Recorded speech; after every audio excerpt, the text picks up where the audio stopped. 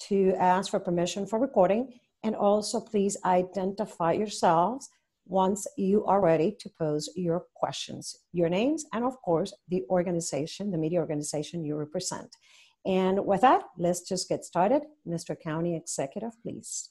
So, um, good afternoon, everybody. Um, I will uh, go through a number of things today. I mean, yesterday's cases, we have uh, 92 new cases as of yesterday, and our test positivity uh, was 2.9%. So, we've been able to keep our test positivity relatively low. 92 cases is still more cases than we would like to see, far more cases than we would like to see.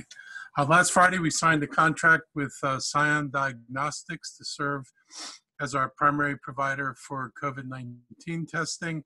It's the same company we've been working with um, through the state for the last few weeks, so there will not be any further have need to switch over or pause as the state's testing support fades out, and the con and we have continuity with Scion, who was the, the support we were getting from the state.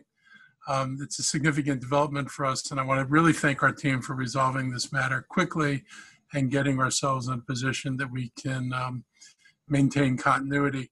Uh, we've been ramping up our testing operations. We're going to continue to do that. Uh, we're testing at Wheaton. Today we're testing at Wheaton Library and the Community Recreation Center and at the mobile trailer at Lake Forest Mall. And uh, so far, the turnaround for test results at Scion has been averaging 48 hours. Um, this is all very important to us. Um, and just so everybody knows, we continue to be looking at the rapid tests. The governor has announced that he's he has tests um, we don't know how many we're going to get, but we know that we do know that their focus is going to be on nursing homes and other critical personnel. These are not meant for general consumption at this point, but the county is looking um, at companies that will be bringing these tests online and hopes that we'll also um, be announcing progress in bringing those tests into the county. Um, obviously, we believe the more testing we do, the safer we can make people and the quicker we can get control on things. And the rapid tests have even more advantages than uh, the tests we're using right now. Um, although we're ramping up testing, we continue to see a reduction in volume of the people coming in for testing in the county and around the state. And we're encouraging people to please come in and get tested. It's important to avoid spreading the virus. And we have to remind people that you may have the virus enough to be symptomatic. And that is the big problem with this. You don't know everybody who's sick. And so it's possible to be positive and spreading virus and not showing any signs of it. And that is one of the dangers. That's one of the things that allowed this virus to spread so quickly. So we really are encouraging people to get tested. So if we find positive cases, we can do the contact tracing and get a handle on the spread of the virus as quickly as possible. In other news of interest, um, we have um, expanded live music perform performance provision. Will now allow outdoor performances under, allow, under the following conditions. Performances must adhere to the 50 person gathering restrictions. There will be a possibility the cast and crew and staff are counted separately, and there will be guidelines on how this will um, be handled. And Dr. Stoddard um, can further explain this. Audience members must practice physical distancing by sitting at least six feet away from any individuals outside their house, households. The venue is submitting is responsible for submitting a letter um, for approval, which includes a seating chart that demonstrates these social distancing practices. And again, Dr. Stoddard will go into more detail on that provision. We continue to work with the restaurants. We know they have asked us to um, extend or re-extend the hours of selling alcohol beyond 10 o'clock. Um, our folks had a meeting with them this week. We're working to see if there is a way to do this. Um, we're looking at the potential of some kind of opt-in where there would be certain restrictions and enforcement that they would have to agree to follow. And I want to emphasize, have to agree to follow because this doesn't work if we say you can open up and then we go in there and we find people crowding around bars, moving tables around to be close to each other, standing up in the middle of the bar or in the restaurant and talking to each other. If it's going to be done, it's got to be done safely. Uh, we've launched our Mask Up campaign. I want to remind people the importance of wearing a mask. Um, for the last week, we've been pushing our Mask Up campaign, and Montgomery County is government is partnering with the Montgomery County Economic Development Corporation, Visit Montgomery, and the local business community to promote the importance of wearing a mask or face covering. And again, I want to give credit to the business community by and large, which has been very supportive of this because they understand that our ability to control the virus is also tied to our ability to keep businesses open. And so it's in everybody's best interest that we mask up all the time. That's to encourage people to do this. Um, campaigns designed to educate county residents and visitors about the importance of wearing a mask in public and outdoors and when you're unable to maintain physical distance. As I said before, wearing a mask is key to stopping the spread and the mask keeps you safe, but it also keeps the people around you safe. So this is a mutually beneficial arrangement if we all wear masks. Um, voting in elections, uh, this has obviously been a big topic on the national scene. Our Board of Elections is encouraging voters to start a vote plan for the upcoming election. Registering to vote or ensuring your voter registration is current is critical. The deadline to register to vote is October 13th. Again, that's the deadline for registration. Due to COVID-19, the board is recommending voting by mail. It is the preferred way to vote. We will have voting centers um, available on election day, but it will not be the usual 200 voting sites. So I think it's down to somewhere between 40 and 50 voting sites. I don't remember the last number, but we need as many people to vote by mail as possible. And when you vote by mail, we, we want people to do the vote by mail, not use the email ballot. If you use an email ballot, it has to come in and be transferred to another ballot because the machines can't process the email ballots. So if you vote by mail, then that vote can be processed by the machine, which means they can be read quickly. So this is really important. For voters who choose or must vote in person, early balloting, early voting will run October 26th to November 2nd, election day November 3rd. Voters can cast ballots in person at any early voting center, or public high school. And again, as I said before, there will not be the usual 200 plus voting sites on election day. There is a map up on the county website of where these where the election sites are going to be, voting sites are going to be. So make note of that and make your plans. And again, make it easier on all of us and vote by mail. U.S. mail, not internet email. And I'm going to turn it over to Dr. Gayles now. Uh, good afternoon and happy Wednesday, everybody. Always good to be with you all. Uh, I'll try to keep my remarks brief and save time for questions. Uh, I do want to highlight a couple of key points.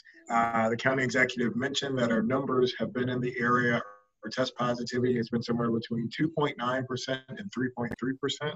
Uh, over the last, uh, well, since the governors uh, opened up for phase three across the state and other jurisdictions. And since Labor Day, we've actually had four days that are over 100 or close to uh, 100 cases uh, in terms of testing positive.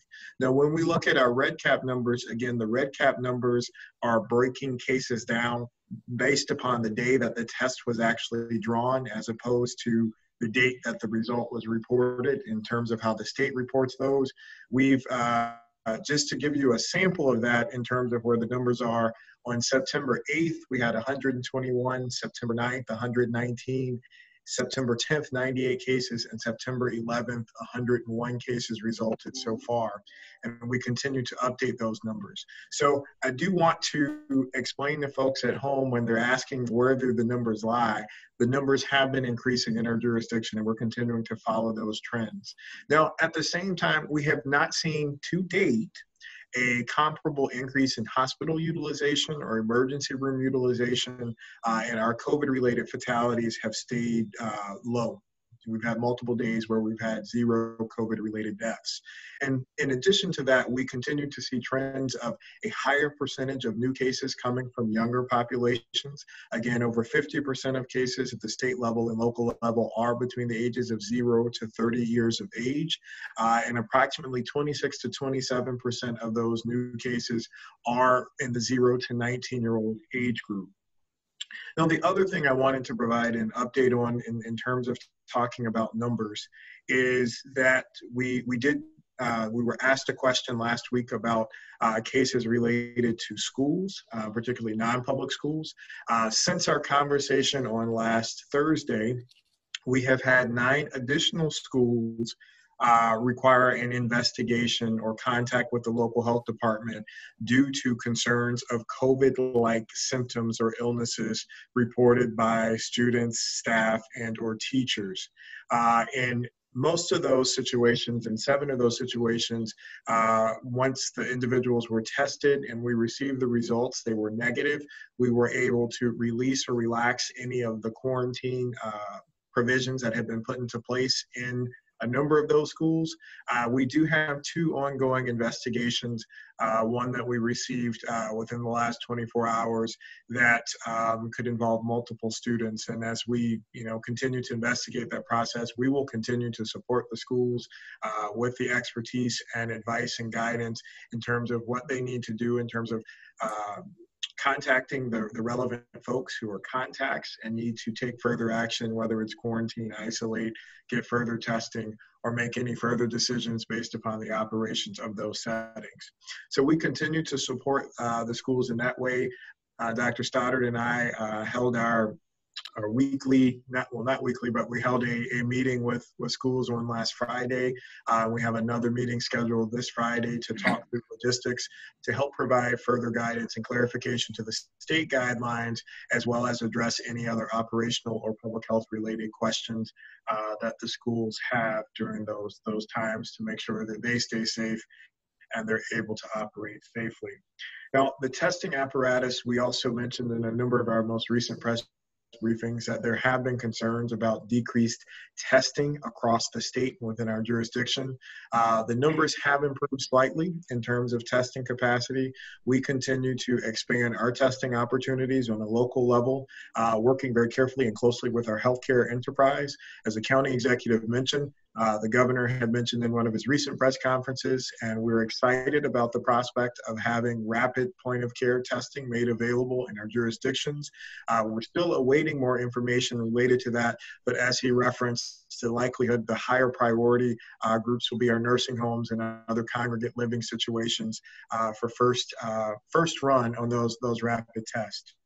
Uh, the other thing I want to also emphasize is that we continue to work with our colleagues across the region uh, related to vaccine dissemination and distribution.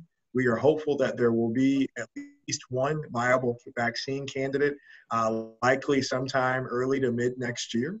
Uh, and we are working behind the scenes with our colleagues on a standardized, stratified distribution uh, process to ensure that everyone who needs a vaccine will be able to get the vaccine. Now, the early information released from the federal level has suggested that there will be a prioritization process put into place, uh, and there will be more details provided on how those priorities will be determined, who those priority groups will be, and how the vaccine will be distributed to state and local jurisdictions to allow us to plan more in depth and detail. Now, in the while we're waiting for the, the COVID vaccine to come, there is a vaccine that is present now that we are encouraging folks to get, and that's your flu shot. So I want to remind folks that flu shots are available now. It is not too early to get your shot. I got my shot earlier this week. Today's Wednesday. I got it on Monday. I think we posted it on uh, social media, and we've been encouraging uh, folks to post your your experience so that you can encourage others within your network to do so. And the last thing I want to emphasize is that a reminder to folks that there's lots of information flying around right hmm. now. It's an election season, and we encourage folks to read up. When you hear something, find a source, look into it. Don't just take it as gospel. Uh, and the one things that I want to emphasize is that we continue to encourage everyone to get tested, asymptomatic and symptomatic individuals. And we are not resting and allowing us to accept a baseline of 80 to 90 cases a day.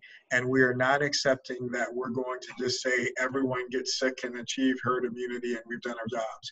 We are dedicated and committed to doing everything we can to continue to drive the number of cases down so that we lower the burden of the virus in our community, lower the impact of community transmission, and that will hopefully allow us to be able to reopen more activities uh, within our society. I'll stop there, but happy to answer any questions you may have. Thank you, Dr. Travis. Dr. Stoddard, opening yeah, statement. I, yeah, I only have a few comments that I want to make. Uh, uh, echoing what the county executive said about live performances, we will be uh, issuing some additional guidance today, and it will be up on our website where you can apply for a letter of approval for outdoor performances. We know that obviously the time is ticking on outdoor activities uh, being able to be done throughout the fall. And so the, those will be up later today. You can currently submit letters of approval that will meet those uh, guidelines. They'll be reviewed quickly, and we can hopefully get performances uh, allowed to operate uh, across the county over the next week, you know, week or so. Um, we also are meeting with the members of the faith community later today. Um, we know the high holidays are rapidly approaching.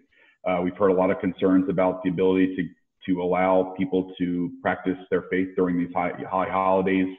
Uh, we are still concerned, obviously, about COVID-19 and about the significant increase that we have seen since, um, you know, since the uh, holiday, since Labor Day and, and over the last several weeks but we're looking for ways that we can potentially allow the faith community to have some expanded internal capacity while offsetting the risk associated with that by having additional provisions in other places, like in how we stagger entrances and exits from the from the sanctuaries, things of that nature. And so we'll be meeting with them today to find out what can work for all faith traditions in Montgomery County, and hopefully come to some accord on um, you know how we can allow some additional capacity while offset that risk through other through other recommendations or rules or accommodations. Uh, lastly, uh, we've heard several questions about Halloween. I think I think it's really important to understand that we are still a, a good six weeks away from that, and it's really difficult to know exactly what Montgomery County is going to look like on Halloween today. Uh, we are preparing guidelines and guidance based on what is out there from other places. Uh, we recognize that many of the Halloween activities are not government driven, nor are they driven by businesses in most cases. And so we will be providing guidance to try and try and do what, what we think is safe. But at the same time, it, we can't say too much today because we do not know what the circumstances of COVID-19 will be at the end of October. And it's, you know, obviously we're, we are trying to follow the data and the science and uh, prognostication is not our forte.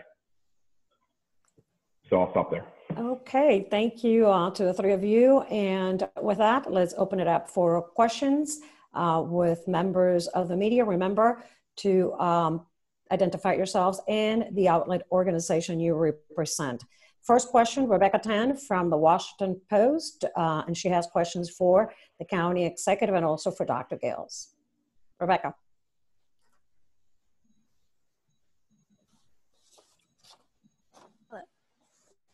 Oh, hi, great. Um, thank you for having having me. Um, my first question is about the Scion Diagnostics contract. I'm wondering if either County Executive Elrich or Dr. Gayles could tell me a little bit more about what it is, how many tests are they providing, for how long. Um, and my second question is for Dr. Gayles. Um, you mentioned that cases appear to be ticking up in Montgomery County this week. Do you have you know, a sense of why is it? Do you think it's directly related to the reopening uh, of the state moving into phase three? And if so, since Montgomery, you know, opted out of that, like why our cases are ticking up still. Um, thank you. I believe Dr. Gayles needs to be on. Okay, good. Gotcha. okay. Uh, well, uh, so the, the first comment related to the SCION contract, um, it's basically a, an open contract that's continuing to allow us to utilize the lab that uh, stepped in uh, and we worked with over the last month uh, following our pivot from utilizing the other lab that we had used to support our high throughput testing uh, mechanism. and so we don't, um, you know, the provisions of the contract are private, but you know we don't have necessarily a minimum testing that uh, requirement that we have with them. Uh, we are utilizing right now uh, anterior nares testing, which is the same testing technique that we've used over the last month uh, to support our different test sites um, across the county. Now, as we move forward, we have uh, met with a number of other labs uh, to form partnerships as well to provide additional services to help support the testing apparatus and the different components. Uh, and we are also looking at uh, uh, particularly labs who are, are exploring or bringing online rapid testing modalities that would allow us to be able to expand the provisions of our testing to do uh, on-site testing and provide those results within a shorter window of time. Uh, and that could create other opportunities that would, uh, for example, allow us to initiate the contact tracing piece more uh, immediately. Uh, than right now where we you know we're waiting on the results where that can be somewhere between 48 to 72 hours. So we're continuing to, to continuing to pursue partnerships with entities that are able to leverage the newest uh, technologies as they become available. Now on the second component um, as related to the cases in, in, terms of what we've seen. So we think that there are a number of factors that are potentially driving the increase in cases. Uh, and so the first one is that we've talked about before is that we think that over time there has been a little bit of relaxation uh, in terms of adherence to uh, sticking to those public health principles in terms of face coverings and physical distancing, particularly as it relates to large gatherings and family gatherings. And we've talked before, uh, particularly around holiday season, we know that that is not an uncommon time where families and close networks get together. And we know that when we're in those settings, there is a tendency, unfortunately, to relax and to let down our guard a little bit. And that makes it easier for the virus to transmit if we're not wearing our face coverings and, you know, we're hugging and in close proximity and touching and, you know, not observing and adhering to those physical distance guidelines. I think there are other things that can contribute to it as well. One is it was a holiday season as well. And so lots of people are moving back and forth and they're going to other jurisdictions. They're not necessarily staying at home. And it does create some challenges when folks are able to travel to other places where there are less restrictions in place and they may be coming into contact uh, with the virus in those settings and potentially bringing it back to our jurisdiction. Now, we have not had a chance to, uh, or we have not received the most recent contact tracing report for this week, uh, but we will continue to review that to see if there are any other particular activities that jump out um, that may be causing that uptick. So, in summary, letting down our guard a little bit, particularly in family gatherings and large spaces, the, se- the secondary effects and influences of holiday seasons. We know holidays have been associated with upticks in cases shortly thereafter. And there is the potential that, yes, people may have been in other jurisdictions and other areas where there are less restrictions and may have come into contact with the virus and brought it home. And if I may add just to that point, if you'll remember all the way back in April, and I know it seems like a lifetime ago, whenever we tried to think about closing things down, we typically wanted to do so in partnership with neighboring jurisdictions, Northern Virginia and elsewhere. And the reason we wanted to do that then and why it matters now what others are doing is because there is a great uh, deal of efficacy in either opening or closing things down on a, on a concerted basis. Now, obviously, um, we have we have residents who live in Montgomery County and work elsewhere. We have residents who we have we have people who work in Montgomery County but live elsewhere. Uh, and so obviously we are um, we we are an island, and therefore we are affected by what goes on around us in a way that um, you know can be challenging to us. And for that reason, I mean, I think if you asked uh, Dr. Gayles or myself what we'd like to look like, I think we'd all like to look a lot more like New York and New Jersey and Connecticut, uh, and where their numbers are before we reopened a great deal of things. But uh, given the the given the way that the region and the state have operated, it would be nearly impossible for us to get to that level j- just by ourselves. And therefore, that's why you know we're, we're feeling sort of the challenge of how how do you balance out uh, getting your numbers down while recognizing that you are you you don't control all the things that affect you. Okay, and with that, Amy Cho has um, from NBC4 has a question regarding phase three. Amy, was that answer for you? would you like to uh, pose a question? Um, Um, yeah, I can I can just read it. Um, just uh, do you guys have an update for um, when Montgomery County is expected to move into phase three? I think we are gonna, yeah, At this time, uh, we don't. Um, and, you know, let, let's, at, at the risk of sounding like a broken record, let's go back to what we've talked about for the last several months in terms of how we move forward. We need to see demonstrated lower community transmission. And let's be very clear, the numbers where we were, the levels where we were as a local jurisdiction, as well as the state, when the governor made the decision to move to phase three, our numbers were higher than where we were back in July when we moved to phase two. And so that is not consistent from an epidemiological standpoint and a surveillance standpoint with our beliefs in terms of where we need to be to move forward. Now, what we are working on, in fact, taking feedback from a number of places, is we're working on taking the data that we have in our dashboard and simplifying it in ways that the public can understand in terms of the criteria that we're looking at in terms of moving forward or to be perfectly candid, creating criteria that we may have to move backwards in terms of our provisions if the, the numbers uh, were to increase or continue to move forward as opposed to, to, to decreasing. Uh, and again, to remind you, some of the factors that we look at within that, we look at the daily caseload, we look at that in reference to, again, our hospitalization data and utilization, our fatality rates, the measures that give us proxy for the severity of the illness. We look at our rate of transmission transmission.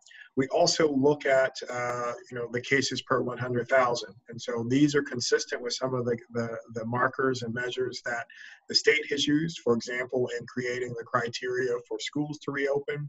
They use test positivity as well as cases per 100,000. And Dr. Stoddard just made a great point uh, in terms of when we compare ourselves to other states and other jurisdictions in terms of having uh, how we move forward, we'd love to be able to achieve comparable levels of lower transmission. You know, when we look at states like New York and Connecticut, I think Connecticut's test positivity is below one, and their cases per 100,000 are well below five. And similarly, the state of New York and New York City are at those levels. And so we'd like to see continued improvement. We'd love to see, at minimum, moderate levels of transmission. And again, CDC definition, moderate levels of transmission for us are in the range of 30 to 34 cases a day. And ultimately, we'd love to see low to no transmission. And low transmission for us by CDC definition would be approximately 10 cases per 100, uh, I'm sorry, not 10 cases per 100,000, but 10 cases a day. Um, and so we'd like to get to those levels and see sustained levels because the key is when we lower community transmission, we decrease the likelihood that an individual is stepping into a school, a business, a gym, whatever facility, we decrease the likelihood that they are stepping in COVID positive, which thereby would decrease the likelihood that they were transmitted to other people. Okay, Kate Ryan with uh, WTOP has questions for the county executive as well as for Dr. Gayles. Kate? That's right. Thank you. Okay, uh, first question for Dr. Gayles. Um, I know the state has, has these 250,000 rapid uh, tests. Do we know yet how many of those might be available uh, for um, Montgomery County residents? And the second question, based on this morning's COVID work group in Annapolis, uh, Dr. Chan said the COVID vaccines that we may be getting um, would require two shots, and she said will require special handling with refrigerators that can go and handle uh, 70 below Celsius. Do we have those kinds of facilities in the county? Well, to your first question, we actually don't have any further details um, related to the 250,000 uh, tests that the state will get. Uh, we've not received any further details in terms of the dissemination policies, the percentage that will be shared with each of the jurisdictions.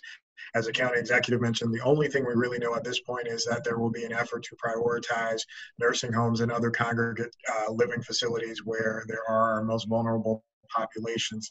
Uh, and so as we find out more, we'll be happy to uh, make that available. But at this time, we've not received any further information uh, beyond the initial uh, press release that happened about two weeks ago now. Now, as it relates to the actual vaccine. So a lot of the information that is coming out is rapidly coming out. So for example, that information that was released this morning is new information to many of us. Uh, after this call, I actually do have a call. We have a, a uh, the health officers meet with officials from MDH uh, Monday, Wednesdays, and Fridays. We have a one hour call where we find out a lot of these details and information. And so, from my understanding, what has been released so far by the federal government is that yes, a, a, a vaccine candidate will likely require two shots most likely 21 to 28 days apart. Uh, and there are some concerns or considerations that it would require some level of refrigeration uh, in terms of transport back and forth. That's the extent of the knowledge we have so far. But what I will say is we do immunizations and we run a vaccine program on a regular basis anyway. And we do have, uh, you know, materials and uh, resources to refrigerate vaccines and keep them okay and to be able to transport them from place to place. And certainly as we find out more details in terms of what the federal government is thinking and they share those with us, we will be able to devise a more specific program and platform to be able to address the dissemination and concerns for the vaccine. Shanikia Grimshaw from uh, WDVM has a couple of questions. Would you like to ask them or do you want me to, Shanikia? There you are. Uh, so you kind of answered this, Dr. Gayles, but I just want to make sure I'm clear here. So these increases, the increases with uh, the COVID-19 uh, testing results, does this set us back now? Like, could this make uh, businesses close? This, if you continue to see these numbers? The short answer is yes, and the long answer is yes also. Uh, you know, we we are working hard to make sure that anything, any of our reopening provisions, again, are guided guided by surveillance data, and have numerous provisions in place to keep people safe. You know, the extensive work of the different teams from Dr. Stoddard, folks from our licensing and regulatory service team, looking through all of these different proposals and platforms are vetting and thinking very carefully through that lens and say if this is an open provision how do we maximize the, the safety precautions around it to minimize potential transmission uh, but as we've talked about with schools the same situation with opening up businesses we can put extensive safety precaution programs in place but in order for them to be successful they are all dependent upon having lower community transmission. Again, if we've got higher community transmission, that is increasing the likelihood that before I even step into your venue with your well thought out safety precaution program, I, I'm it's increased likelihood that I'm going to introduce and bring COVID into that that space. And so if that pers- if that likelihood increases by seeing increased cases and increased community transmission, we would potentially have to walk back some of the provisions that we put into place. And so what we've been working on behind the scenes is coming up with again, we would look at data such as our test positivity, our cases per 100,000, our rate of transmission, uh, those types of variables, we're coming up with clear language that we can release to the public so they understand and get it. Um, now, it wouldn't necessarily say if we get to 93 cases a day and the rate of transmission is 1.1 and test positivity is 6.7, then that's the magical marker to move. But we would certainly release the principles that we've talked about consistently um, in terms of those levels to determine how we would move forward in a phase or if we would potentially need to move back. And I would just add that we have followed the, the data very closely and carefully. Uh, and for example, when we had a contact tracing report that showed us that um, restaurant activity related to alcohol was associated with it, we stepped in and said, you know what? We have clear evidence that this particular activity is contributing to that. And that's when we put in the provision to say we would curb alcohol sales after a certain time. And since then, you know, we have seen the number of complaints and compliance orders that have been put into place decrease as a result of that action. Okay, there's um, another question from Donna St. George with uh, the Washington Post for Dr. Gayles. Hi, Dr. Gayles.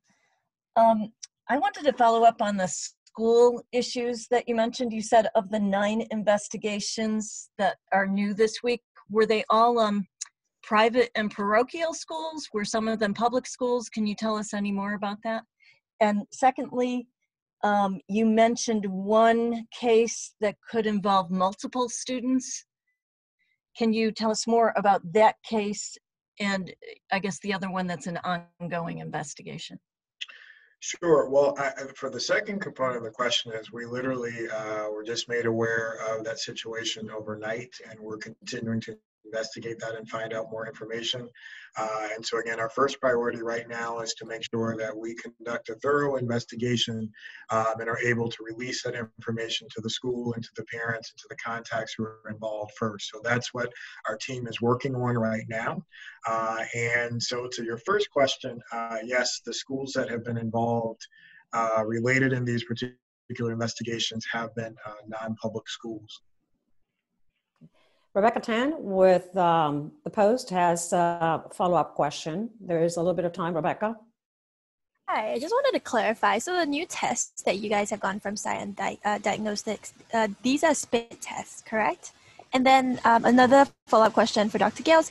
Can you talk a little bit more about why the volume of testing is declining in Montgomery County? You said fewer people seem to be coming in to get tested. Why is that happening? So your first question actually is not correct. So as we stated, the, the collection mechanism is through anterior nares testing. Um, mm-hmm. And the Scion lab tests are consistent with what we've been doing over the last month. Uh, we've been working with that lab. Now, as we look to form partnerships with new labs and bring new labs online, we are looking at uh, bringing back other types of self-collection mechanisms such as saliva-based kits, uh, oropharyngeal swabs, uh, and you know potentially leveraging some of this new technology around rapid testing. Um, so, so that's where we stand with that. Now, as it relates to testing volume, the testing volume excuse me, has been down across the state. Uh, it's not something that's just unique to Montgomery County.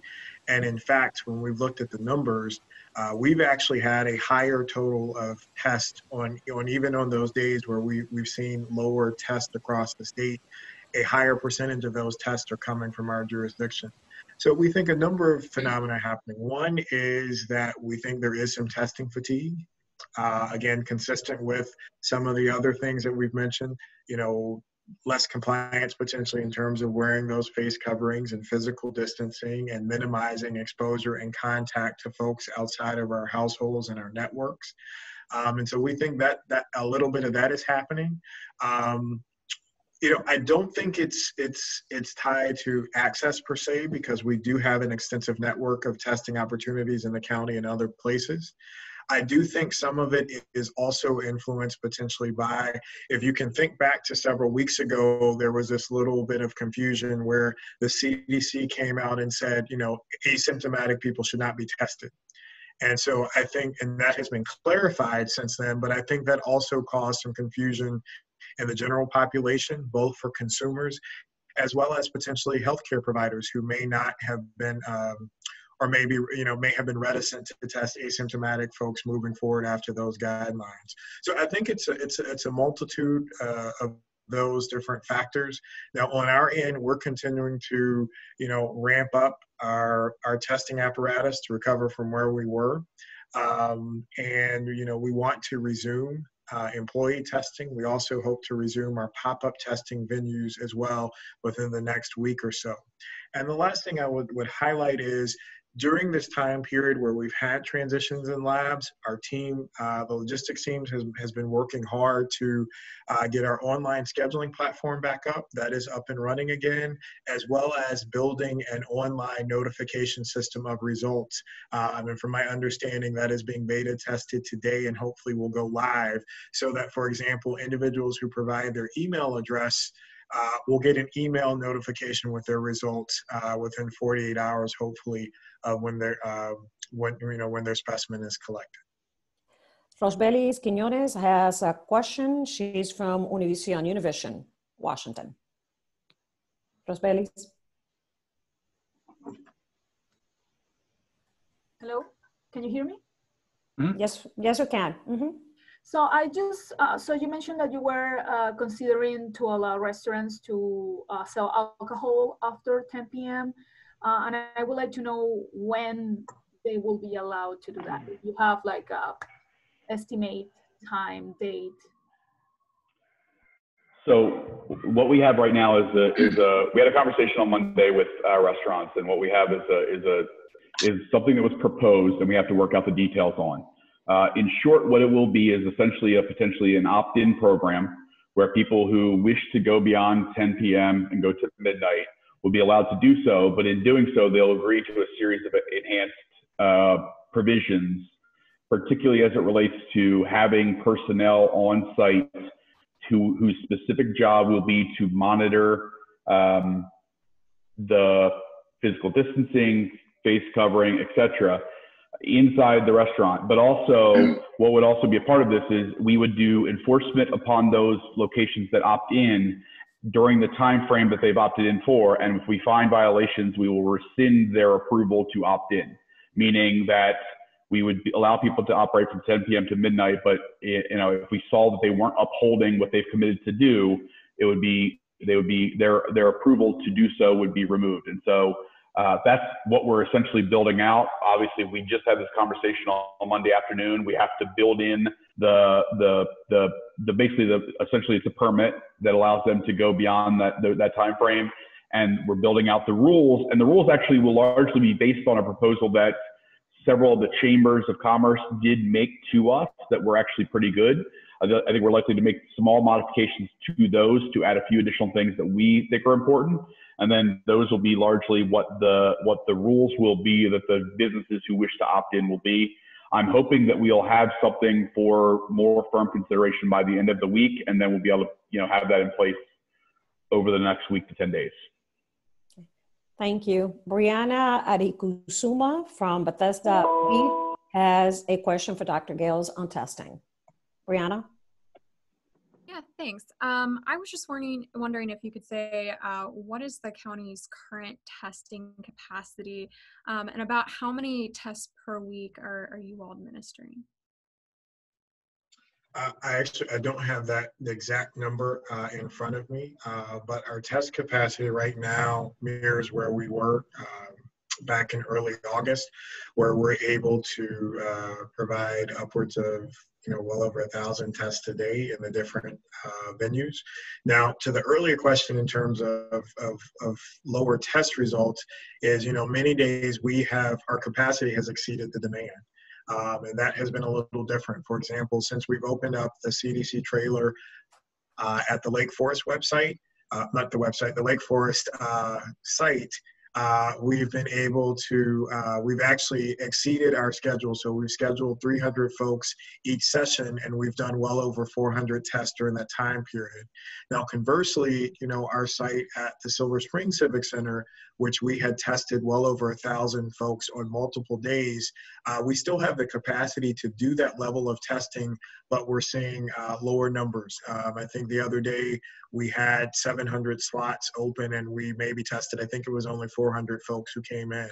So we are doubling down on making sure we reach out to the community to remind them that we have tests available and to remind folks that it's important, as the county executive mentioned in his opening remarks, that asymptomatic and symptomatic folks should get tested uh, to know their status on a routine basis but if you know we'd be happy to follow up and get some of that the, the specific information to you all after this Shen Wu Tan uh, with the Washington Times had a question that also asked about how many tests the county could administer each day. But never mind, you already have uh, answered that. Um, let's see, there's also, wait a minute, she's adding something. I want to clarify something. Dr. Gayles said 1,000 tests a day at a site, so possibly thousands a day? No. So this is inclusive of all of the different sites that we have. You know, every site is different. Uh, the sites have different hours um, and they have different capacities. So some of them are indoors, some of them are drive-through. So it depends on the site. So the number that I mentioned is inclusive of all of the different um, arms of our testing team, including ready responders, uh, potentially nursing home and assisted living places, uh, the different sites, stationary sites that we have set up, um, as well as our testing in shelters and other places that we provide testing support for.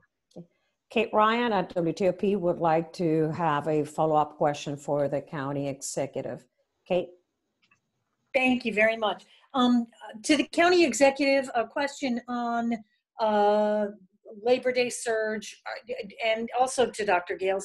When will you know if, in fact, we've seen a surge in cases due to uh, Labor Day? And then a follow up with Dr. Gayles. I believe yesterday you mentioned 12 school investigations related to COVID cases. So is it nine or 12? I just want to verify that.